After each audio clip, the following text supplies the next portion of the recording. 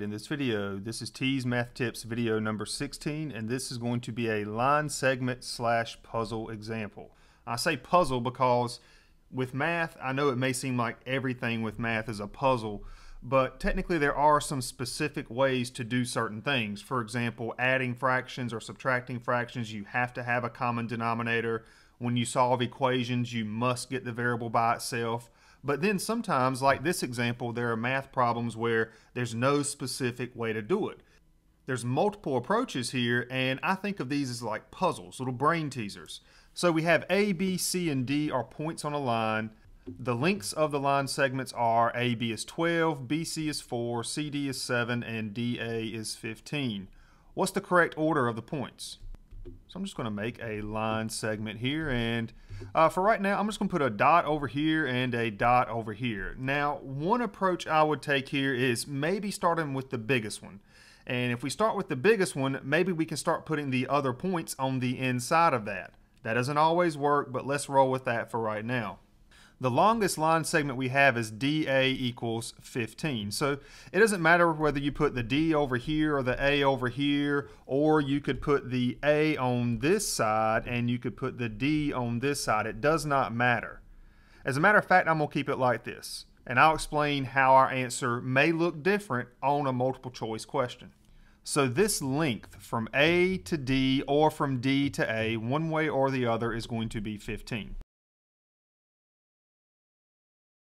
So I came in here and I have segments 1, 2, 3, 4, 5, 6, 7, 8, 9, 10, 11, 12, 13, 14, 15. So we got a distance of 15 between these two points. Let's go to the next biggest one. AB is 12. Now, let's make the assumption, and this isn't always correct, but let's just suppose that B is somewhere between A and D. And since AB is 12, we're going to count from A 12 units. So 1, 2, 3, 4, 5, 6, 7, 8, 9, 10, 11, 12. I'm going to put a B right here. So this distance here is 12.